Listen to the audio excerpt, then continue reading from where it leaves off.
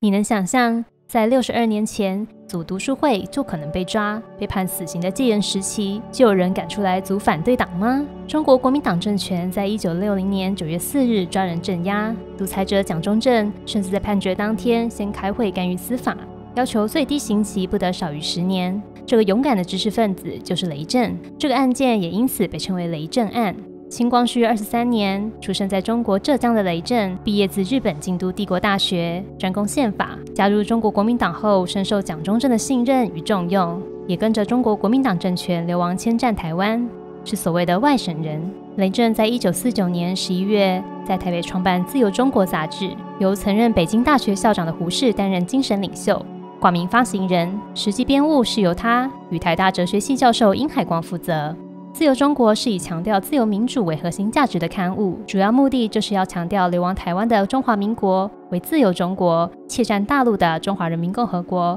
是不自由的共产中国。杂志在初期以勇讲反共为主轴，受到蒋中正与中国国民党支持。当时国民党仍需营造良好形象，以便获得美国支持。雷震的自由中国因此颇有发声空间，像是杂志在一九五一年发表“政府不可用民入罪”，触怒当时保安司令部副司令二二八事件的高雄屠夫彭梦器，但雷震及自由中国都没有受到追究。随着韩战爆发，一九五四年中华民国与美国签订中美共同防御条约，获得美国白纸黑字的国际条约支持后。中国国民党政权不再重视自由派，雷震与蒋中正的关系也越来越远。一九五四年，自由中国刊登读者投书，抢救教育危机，引发中国国民党不满，注销雷震的党籍。一九五六年，蒋中正即将过七十岁生日前夕，透过新闻局转告各邦章杂志，希望各界针对反共。建设台湾及总统个人言行缺失等方向踊跃提出建言，雷震便决定推出《自由中国》祝寿专号，还特别选在蒋中正生日十月三十一日当天出刊，封面印上大大的红色字句“恭祝总统七支华诞”，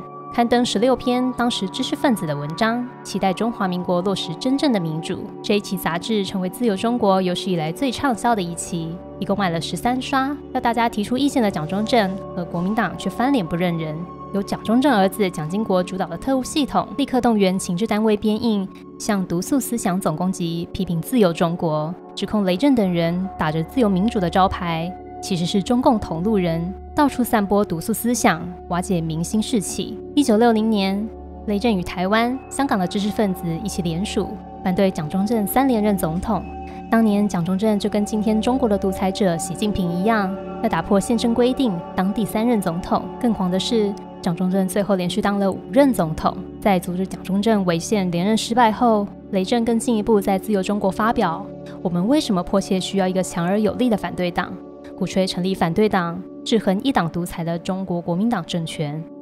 并要求公正选举，实施真正的民主。他也实际发起行动，举办地方选举改进座谈会，并开始筹备组织中国民主党。一九六零年九月，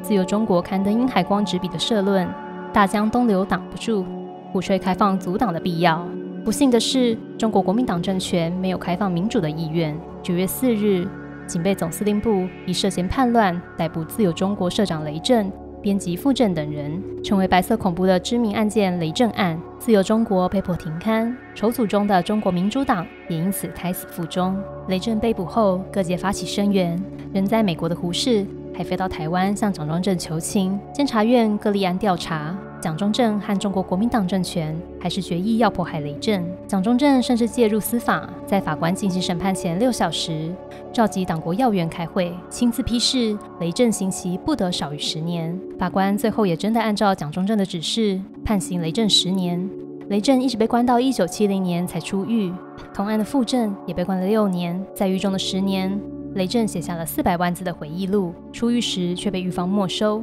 一九七九年，八十一岁的雷震过世，生前都没有再看到中华民国民主化与开放阻挡的契机。雷震出狱十八年后，他的太太宋英以监察委员的身份，要求政府重新调查雷震案，并归还雷震遭扣留的回忆录。中国国民党政权却完全无视于家属、监察院及舆论关注。一九九八年四月，在新店军人监狱焚化炉前的空地，将这些珍贵的文字焚毁。